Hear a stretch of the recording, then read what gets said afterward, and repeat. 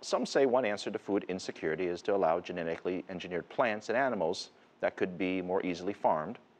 The U.S. recently approved the first genetically modified animal, a hybrid salmon.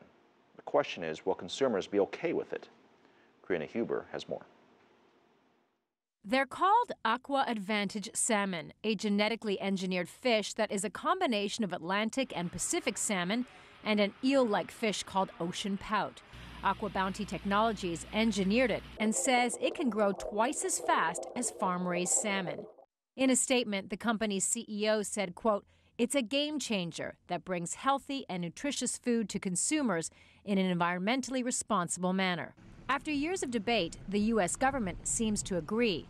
Its Food and Drug Administration has declared the fish safe to eat and ready to market. There isn't any substantial risk to be concerned about, and we need to have alternative sources of, health, of, of, healthy and fresh food other than wild fish caught from, from our oceans. And this presents a very attractive alternative. But critics worry the engineered salmon could cause an allergic reaction in humans and possibly taint the natural salmon population if they were to escape into the wild. I don't recommend consuming foods that are genetically modified. We don't have long term studies about what that may do to our food supply and to our health.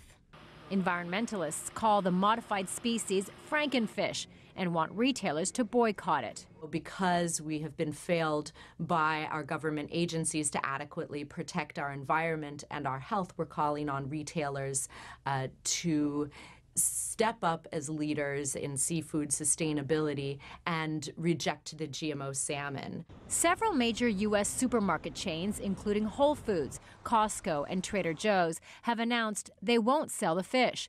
But others like Walmart and Publix have not agreed to the boycott. Experts say consumers wary of the salmon should do their due diligence, but that's not easy to do. There's currently no requirement for stores to label it as genetically engineered.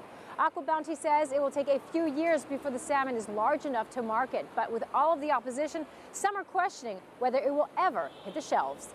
Karina Huber, CCTV, New York.